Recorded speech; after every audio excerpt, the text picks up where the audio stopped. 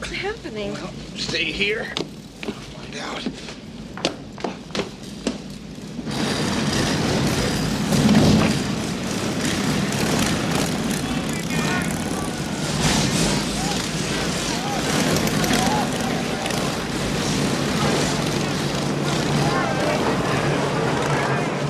Hi! Uh, you must be Mr. Fielding. Yeah, yeah.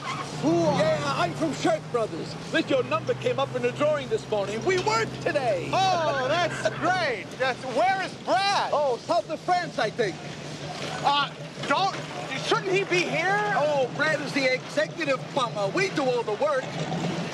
Oh, we're just about to get started. You- You're free to watch if you want, though, uh, though I wouldn't recommend it. Are there any living things in there?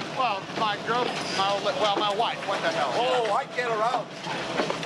Hold it, Thomas! Just a second, there's a woman inside there. Hold it! Come on, knock it off now!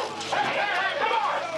Well, will you wait a minute, fellas? There's a lady inside there. Hey, here, here, here. Here, here you go. Okay, all right. Oh, thank you. Uh, is, is everything out? Yeah. Okay. Have a nice You are. Dave. The plumbers. Are you sure? No, and I don't care. I'm just thrilled to see somebody actually working. Hey, Mr. Fielding!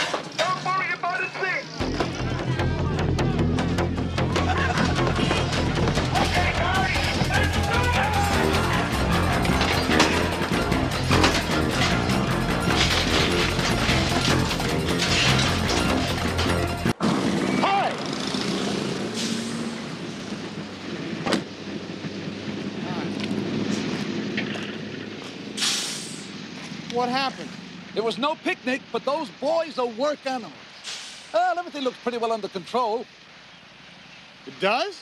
Well, not to the layman's eyes, of course. They completely ripped up our house! They sure as hell did, didn't they? They really ripped the guts out of it. They're work animals, I'm telling you. Look at those holes, huh? Then you got your gravel piles, your sand piles, your scrap piles. Animals!